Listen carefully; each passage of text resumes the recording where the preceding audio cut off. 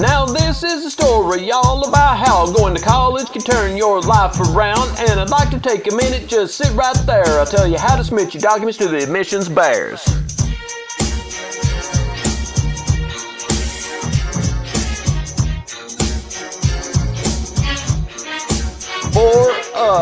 High school transcript with a grad date, visit the high school's website. Don't be late. Your transcript must come directly from school. We don't accept student copies, that's not cool. You received your GED, now that's real good. Visit myged.com if you would. To submit college transcripts, don't be scared. Submit a transcript request to each college, be prepared. Make us beg and plead with you day after day. We want to get your file completed right away. So don't be a mess or wait another minute. Send us a picture of your license so we can get you admitted.